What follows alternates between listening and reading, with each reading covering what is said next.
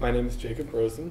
I am an IMC major. I started cooking originally because my mom went back to work once me and my sisters were old enough. So she wasn't available to cook. She was out every night working. But then as she started to work some more, I said, I'll try cooking, and then it just evolved from there. Cooking a college bud is really a fun challenge, but also it's a good learning tool to be able, for me, to learn how to cook on minimal ingredients and minimal um, a minimal budget. You know, I have to learn to only buy the ingredients that I need and also make delicious food out of maybe three or four ingredients rather than 15.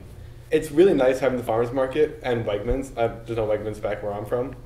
So having Wegmans, you get all these incredible ingredients that you can never find anywhere else. And the farmers market, of course, I mean, you find so much inspiring, so many inspiring vegetables and produce and all kinds of meats and I mean, everything is just inspirational to a chef. I've been doing the chef for hire kind of thing, doing um, where people pay for the groceries and then I I cook for them and that's basically it. I don't really make any profit, but they pay for the groceries and I cook them a good meals. Even in the dining halls, I try and uh, put together certain dishes. Like I take like individual items from each section of the dining hall and try and make something that's a little more edible than dining hall foods. I've really become more in depth with the um, local and natural and sustainability kind of movement up here. Um, and now I'm really kind of focusing on that with my cooking career.